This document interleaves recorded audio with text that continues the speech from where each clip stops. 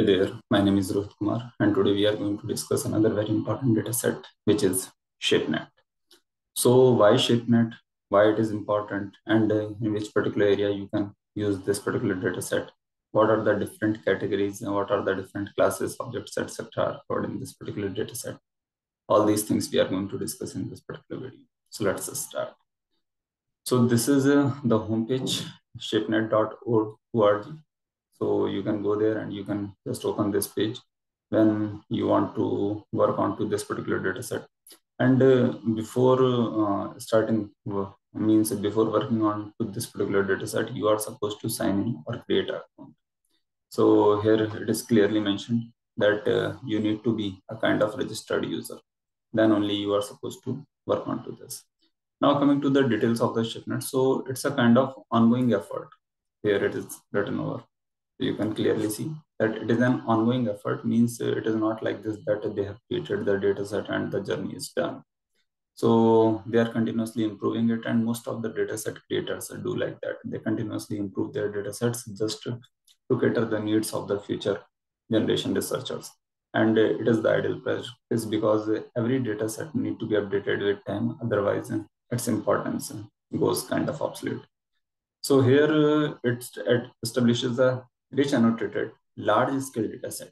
So two things are available here. First thing means uh, highly rich in annotation. Second thing that it is large scale. Both are quite important.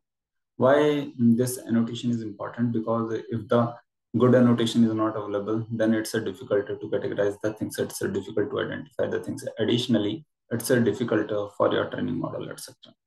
Coming to the large scale data set, again, the uh, kind of complementary things that if the data set is very small or uh, very low in size, then the point is that uh, it is not helpful for a number of techniques and especially after the introduction of deep learning, it's highly recommended that your data set is means it should be very large. So the more training you give to your model that's better because that is going to cover the general perspective of your training. But if you are giving only a very concise uh, size uh, data set uh, for your deep learning model or some uh, machine learning model then it is going to be a difficult. Machine learning may work but deep learning obviously you know very well that uh, is not going to better the needs so coming to the, the point that uh, it's a richly annotated, it is large scale, but it is a data set of what? So here it is written that it is a data set of 3D images. 3D images means uh, 3D shapes and uh, ultimately those shapes are in the form of images. So those are provided to the researchers uh, just to enable them to do the research in the field of uh, robotics because in robotics you do have these sort of uh, sensory images uh, that uh, um, the robot or the different sorts of robotic arms they do perceive from the real world environment. Additionally, you may go for the computer graphics, you may go to the field of vision, etc. Now, if you are a particular uh, domain interested person and that particular data set means the whole data set is not interested to you, then it is uh, always uh, recommended that you should go for the refinement of the data set. Means you choose a particular category. It is not like this that the whole data set is available so you need to go for that. Look for the interesting images that suits your research interest and then you can separate them out and then you can create your own data set. So again the terms and uh, policies uh, those are supposed to be followed. If the data set owners they are not allowing any sort of foundation then it's very good. Otherwise whatever they are asking to give some citation or to give so, some sort of credit to them. So that is quite ethical. You should give them. So that's the only thing. Otherwise, uh, there is none to worry. So ShapeNet is a collaborative effort and uh, effort between uh, the researchers uh, at Princeton, Stanford, and TTIC. Then uh, if you are interested, then uh, you can go for the uh, taxonomy. You can go for the models because different sorts of models are available here. So these sort of details you will find over here. Now, when we are saying that different sorts of models and everything is available over here and it's a large scale. So uh, how large means what is the actual size? So this uh, data set contains uh, over 300 million models and if I'm saying like this, then you should consider that how big it is going to be. Additionally, it is uh, classified into more than 3000 classes. And uh, then the parts uh, are going to have the subsets.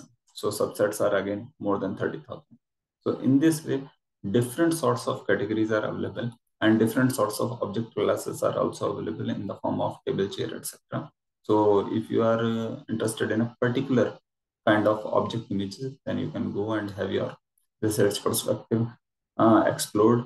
And uh, further based on your research perspective you can personally experience that uh, what sort of images what uh, sort of angle what sort of lighting what sort of detailing of a particular object is good enough for your research. So all these things together are going to help you out still if you are not satisfied with the dataset then there are mm, with respect to any dataset there are always two three competitors.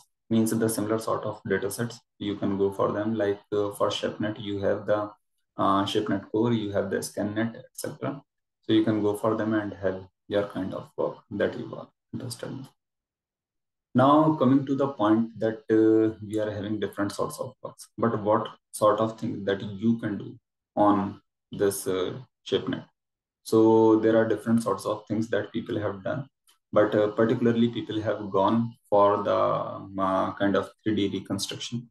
People have gone for the semantic segmentation. People have used the novel view synthesis or the point cloud generation, etc. So these sort of things uh, you can also do. Additionally, there are a number of works available which have used this particular dataset because they're quite popular dataset. So let me tell you one or two that uh, information which rich 3D model repository, uh, which is the kind of original paper for this particular work, is uh, published, which is having a title ShapeNet. Additionally, the meshes RCNN is another popular work which people have used for a number of references. And uh, similar sort of uh, the GET3D, Tallinn, etc. Uh, these are some of the related works. So if you go for Google Scholar, then there you, you can find all these details quite easily. My point is uh, just to tell you that uh, this particular data set is useful in a number of ways. The modalities covered are images, 3D, and the point cloud. And if you are interested in a particular sort of object only, then you can always create a particular means personalized category for your reference from this particular data set. So that's all from my side for this particular data set. If you are interested in any other detail, then I think you should go down and you can look onto the different related news are covered here. So you can see that uh, the news and all the related coverage is also provided. Additionally, if you uh, are interested in more details, uh, as I told you, it's recommended that just sign in or create the account and when you enter into the account then obviously the more details are waiting. Coming down to the last thing uh, it should have been the first thing but i'm telling you in the last that uh, if you're interested then obviously you can download. Here it is the uh, download option then the api challenges and some of the related resources are also available.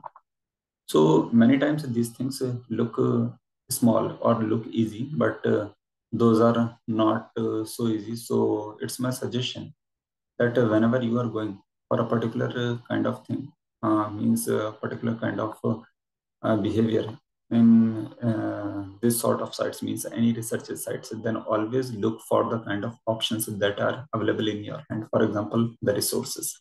Resources are very very useful whenever dealing with a large scale data sets like ShapeNet because they are going to I give you the number of tools which are having uh, some sort of potential to help you out. Additionally, some of the related publications might be offered to you. For example, they have given over here.